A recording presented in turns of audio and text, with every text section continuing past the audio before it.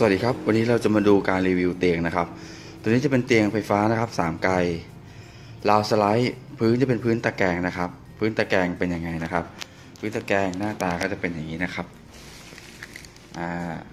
อันนี้เป็นพื้นตะแกรงราวสไลด์เป็นลักษณะอย่างนี้นะฮะวิธีใช้ก็กด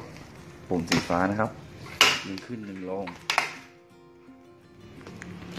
หัวท้ายหน้าตาประมาณนี้นะครับ อันนี้คือหน้าตาของรีโมทนะครับ ฟังก์ชันก็จะมีปรับหัว ปรับหัวท้ายพร้อมกัน อันนี้ปรับขานะครับ งอขา ส่วนตัวนี้ก็คือปรับสูงต่ำนะครับ